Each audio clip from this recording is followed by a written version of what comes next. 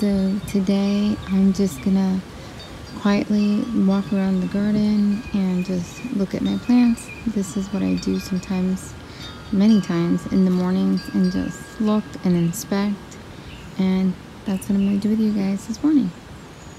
So let's get to it.